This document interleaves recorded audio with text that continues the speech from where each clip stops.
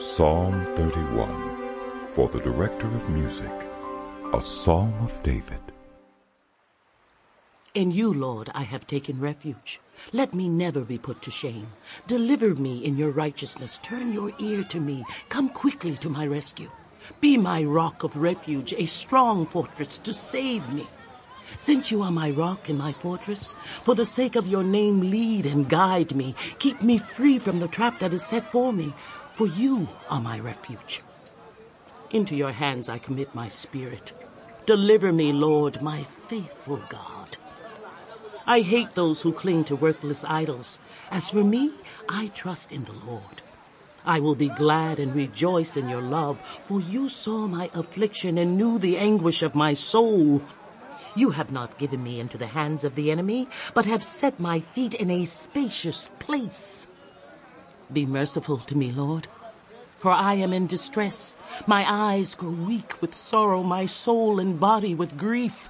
My life is consumed by anguish, and my years by groaning. My strength fails because of my affliction, and my bones grow weak because of all my enemies. I am the utter contempt of my neighbors, and an object of dread to my closest friends. Those who see me on the street flee from me. I am forgotten as though I were dead. I have become like broken pottery, for I hear many whispering. Terror on every side. They conspire against me and plot to take my life. But I trust in you, Lord. I say, you are my God. My times are in your hands. Deliver me from the hands of my enemies, from those who pursue me. Let your face shine on your servant. Save me in your unfailing love. Let me not be put to shame, Lord, for I have cried out to you. But let the wicked be put to shame and be silent in the realm of the dead. Let their lying lips be silenced, for with pride and contempt they speak arrogantly against the righteous.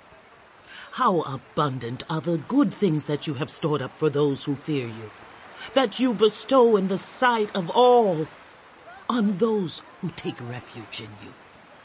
In the shelter of your presence you hide them from all human intrigues. You keep them safe in your dwelling from accusing tongues.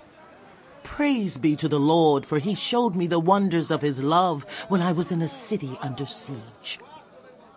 In my alarm I said, I am cut off from your sight. Yet you heard my cry for mercy when I called to you for help. Love the Lord, all his faithful people. The Lord preserves those who are true to him, but the proud he pays back in full. Be strong and take heart, all you who hope in the Lord.